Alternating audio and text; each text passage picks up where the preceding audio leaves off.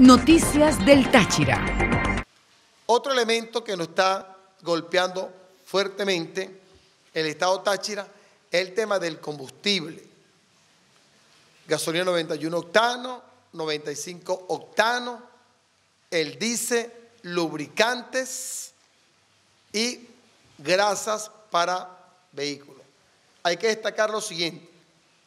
El día martes estuve en Caracas, una reunión con el, el director de Combustible Nacional, Guillermo Blanco Acosta, que el día de mañana estará acá en la gobernación a las 11 de la mañana para solucionar algunos problemas. Por ejemplo, yo le he planteado a PDVSA, que es el que, por supuesto, comercializa, transporta, refina, explora, explota y vende el combustible en Venezuela. No es ningún gobernador, no es ningún alcalde o diputado, es el órgano rector, el ministro de Energía y Petróleo.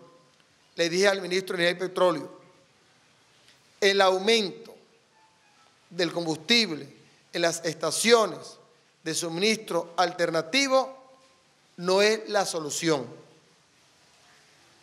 Porque estas estaciones, que se llaman ESA, es una estación de suministro alternativo. Su nombre lo dice, suministro alternativo.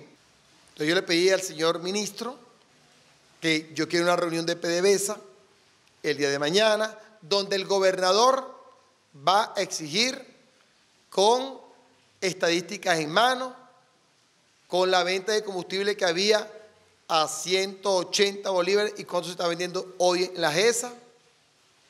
Y también, por supuesto, eh, reflexionar sobre algo importante.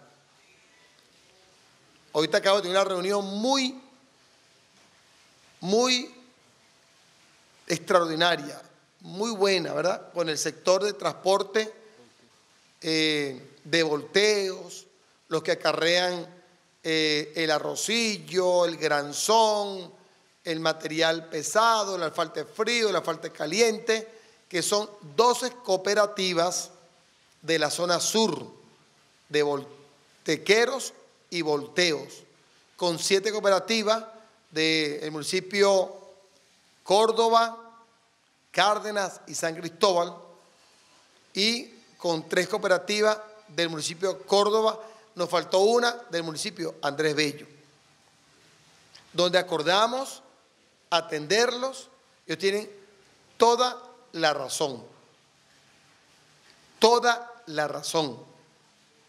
Tenían una asignación de 100 litros cada 100 litros por 21 días a la semana, al mes, perdón.